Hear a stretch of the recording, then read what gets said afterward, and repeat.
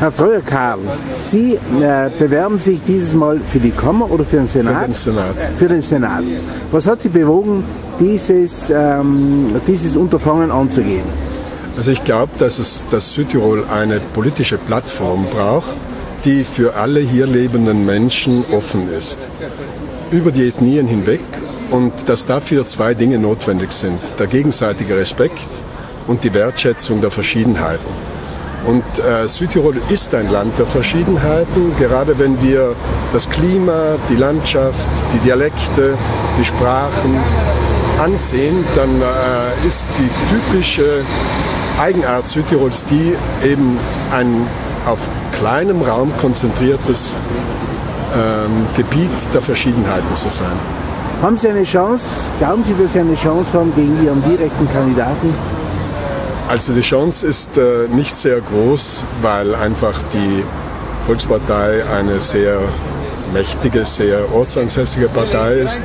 Aber es ist mir wichtig, einfach diese Botschaft zu vermitteln, dass äh, Südtirol in Zukunft wesentlich in Brüssel oder über Südtirol in Brüssel entschieden wird und es eine Partei braucht, die vom Territorium Südtirol über den Staat bis nach Brüssel äh, ihre Macht ausübt.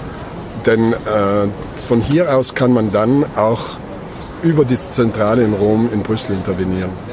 Und äh, wie äh, reagieren die Menschen auf der Straße? Eigentlich kaum.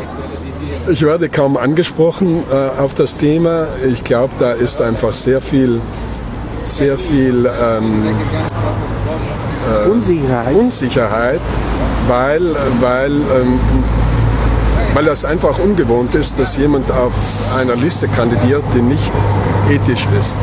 Und äh, ich denke, dass die, die, die Demokratische Partei die einzige, neben den Grünen die einzige ist, aber auf nationaler Ebene agiert, die äh, in Südtirol zweisprachig ist und äh, auch ihre Internetseiten äh, zweisprachig formuliert hat. Und ich glaube, dass, dass der Trend dahin geht, dass man auch in der Volkspartei, denke ich, aber da möchte ich nicht vorlaut sein, äh, sich allen Orten, allen Volksgruppen, allen hier lebenden Menschen öffnen muss. Ich wünsche Ihnen alles Gute. Vielen Dank.